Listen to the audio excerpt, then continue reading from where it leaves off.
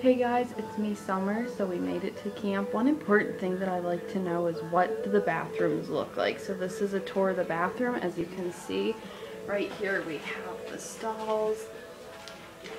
Pretty decent sized. Then we have two more stalls and we have a really nice big um, toilet for the handicapped and stuff. And let's go back to the showers. So one thing that's super important is what do the showers look like? Well, in this case, it's really nice because there's a nice curtain as you see back there so that it keeps your clothes dry.